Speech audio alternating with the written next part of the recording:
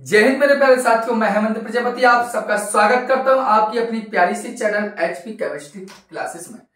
Dear जैसा कि आप देख रहे होंगे व्हाइट बोर्ड पर एक हेडिंग आपके लिए प्रस्तुत है।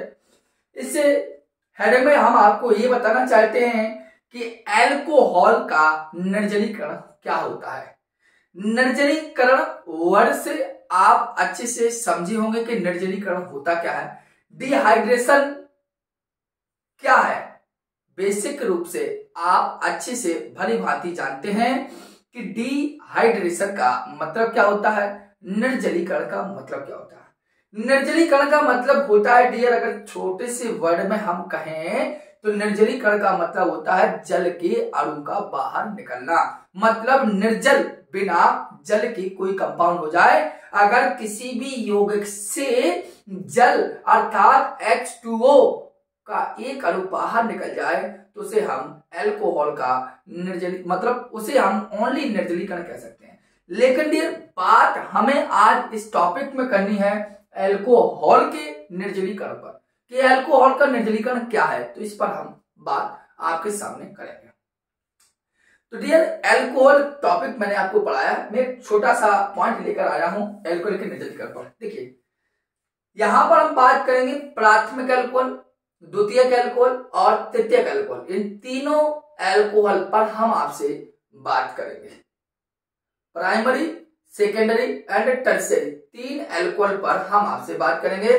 तीनों एल्कोहलों का निर्जलीकरण हम देखेंगे। चलिए, अच्छी बात है, देख रहे हैं हम। तो पहले आपने जान लिया कि निर्जलीकरण का मतलब क्या होता है? निर्जलीकरण का मतलब होता है जल का अणु निकल जाना बिना जल की कोई चीज़ यौगिक हो जाए। अगर हम भाषा की बात करें तो हमने कहा, ऐसे एल्कोहल ध्यान से बात समझना, ऐसे एल्कोहल जिनमें या जिनके बीटा कारण पर, जिनके बीटा कार्बन परमाणु पर पर कम से कम एक हाइड्रोजन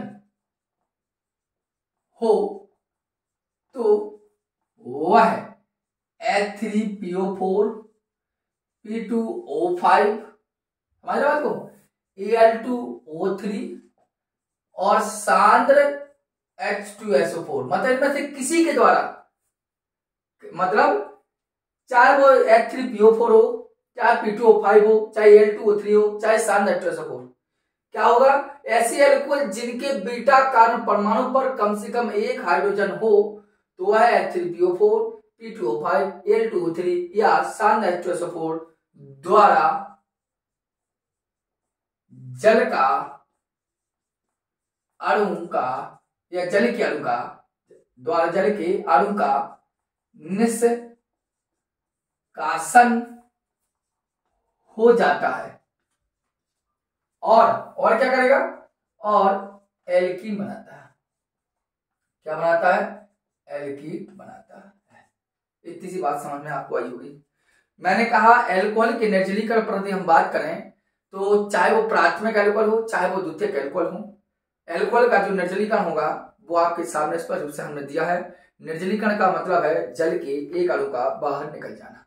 एक अणु ही नहीं मतलब जल का अणु बाहर निकलेगा और एल्कीन बना के हमें देगा। एल्किन मतलब डबल बॉन्ड वाला कंपाउंड हमें बनाकर देगा, कोई भी कंपाउंड हो सकता है। ठीक है? जैसे कि हम बात करें एल्कोहल की बात करें तो सबसे पहले ध्यान दीजिए। वन प्राथमिक एल्कोहल का कहो जिनका सामान्य सूत्र सी एच टू एच हो, यही प्राथमिक तो इसमें भी एक मैथाइल और लगा लिया हमने हो गया एथिल एल्कोहल इसमें द्वितीय एल्कोहल देख लीजिए जिनका सामान्य फॉर्म लगा सी एच ओ एच इस प्रकार एक सी एच थ्री यहाँ लगाई। एक सी एच थ्री हमने यहाँ ये द्वितीय को गया या इस प्रकार ना देखें तो थोड़ा इस पर ध्यान देना। देखिए, हम लिया C H three C H two C H O H और सी एच थ्री ये भी हमारा द्वितीय कैलकुल कहलाएगा एक कहलाएगा हमारा, एक प्राथमिक कैलकुल है। वन डिग्री एल्कोहल और ये टू डिग्री एल्कोहल है, क्योंकि इसमें सामान्य सूत्र क्या है? सी एच ओ एच ये टू डिग्री एल्कोहल बात समझ में अब होगा क्या? इसका निर्जलीकरण होना है? किसके द्वारा होगा? कोई भी ले लीजिए आप पी टू फाइव ले लीजिए। कोई भी ले लीजिए आप एल टू थ्री ले लीजिए, कोई भी ले लीजिए, कोई दिक्कत की बात नहीं ना। ये सभी के सभी जो आपके लिखे हैं H three P O four P T O five L two three सांज एच टू फोर ये सभी के सभी क्या है? निर्जली कारक पर योगक है। ये सभी किसी भी योग को निर्जल कर देते हैं, बिना जल के कर देते हैं। देखिए कैसे। मैंने क्या कहा? ऐसे एल्कोहल जिनमें, जिनके बीटा कार्बन परमाणु पर कम से कम एक हाइड्रोजन परमाणु तो देखिए बेटिया ये आपका क्रियात्मक समूह और क्रियात्मक समूह के बाद ये कार्बन है अल्फ़ा तो बगल वाला कार्बन हो गया बीटा भैया, ये एक क्रियात्मक समूह ये है अल्फ़ा तो बगल वाला कार्बन क्या हो गया? बीटा मतलब बीटा कार्बन है सबके पास। और बीटा कार्बन पे वो कहता है, जिनके बीटा कार्बन परमाणु पर कम से कम एक हाइड्रोजन हो। तो बीटा कार्बन पर तीन हाइड्रोजन है। बीटा कार्बन पर दो हाइड्रोजन वो तो कहता है कम से कम एक या तो दो, तीन है। अर्थात कुछ दिक्कत नहीं ये वाला हुआ जाएगा और इधर क्रिया करेगा, पानी निकाल देगा।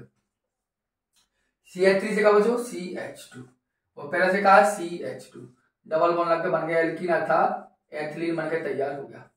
बस हो जाएगा एक क्रियात्मक समूह है। जाएगा हारे उठाएगा और जल निकाल दिया। हो गया नजरीना।